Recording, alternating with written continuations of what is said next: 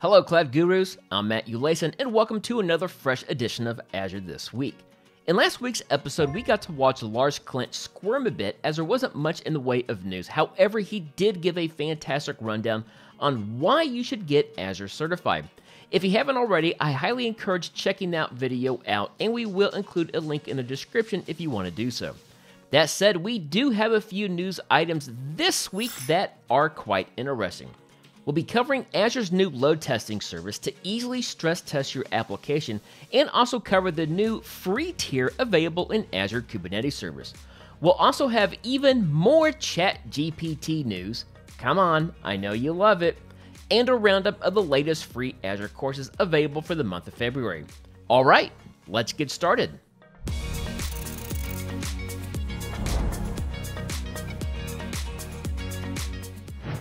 Starting with Azure news, first up we have the new Azure load testing service that's now generally available. When developing your applications, you need to know that your application will perform well even under a lot of stress.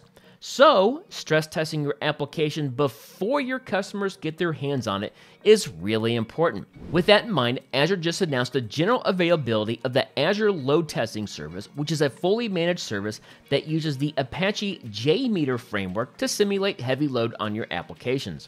Azure Load Testing is intended to use within your development pipeline to find performance and scalability issues before it hits production. Afterwards, you then get access to a dashboard to help identify performance bottlenecks so you can take action and have a more resilient application.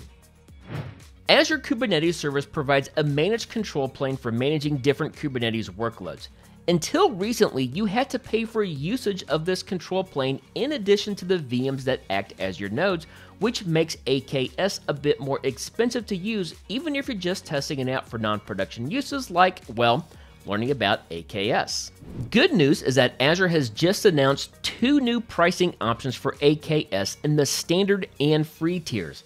The standard tier is essentially the previous normal tier that you pay for, which also comes with a guaranteed uptime SLA and support for a huge number of nodes, up to 5,000.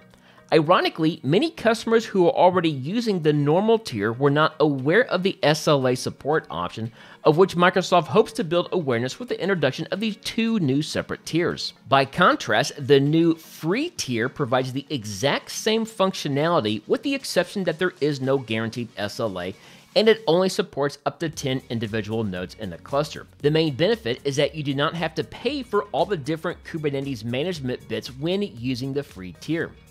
With these new pricing options, you can now choose what's essentially a lower price environment to learn and experiment with AKS or run different proof of concept tests.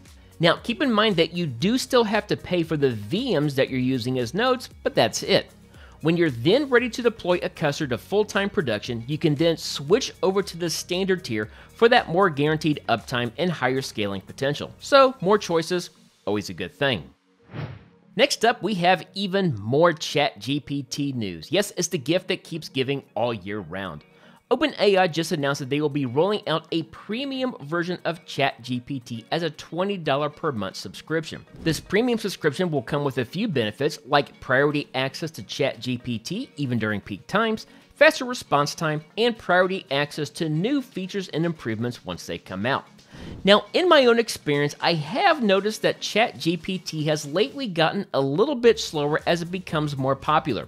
Sometimes it simply hasn't been available at all during those peak usage times. Those who are interested in getting in on this new premium access can join a waitlist, which we will have linked in the video description, from which interested users will be invited to sign up over the course of the next few weeks.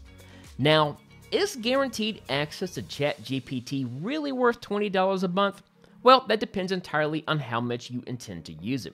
If you just play with it occasionally, it's probably not going to be worth it. However, those who use it as an essential tool for their daily workflows, like coding, writing prompts, and more, it might be a worthwhile investment for those people. Personally speaking, I may get some use out of it, and I'm currently on the waitlist to try it out. Let me know in the comments if you'd like to see a follow up video on that premium access once it becomes available. So it's a new month of February, which means that's right, new free Azure courses to make you an Azure guru. This month's free courses are Creating Startup Scripts for VMs with Cloud Init and Introduction to Microsoft Azure Compute. Now, I actually created the Startup Script course last year to provide a quick and easy to understand reference for how to create startup scripts for Linux VMs using Azure's native Cloud Init format. It cuts through a lot of fluff and gets right to the point of how to quickly create scripts using Cloud Init modules for a variety of startup actions. Anyway, free courses. Go check them out. Why not? Well, that's going to do it for this week, Cloud Gurus. Hope you learned something new and exciting, and be sure to join us next week to keep up on what's new in the world of Azure and ChatGPT for that measure. Keep being awesome, Cloud Gurus. See ya.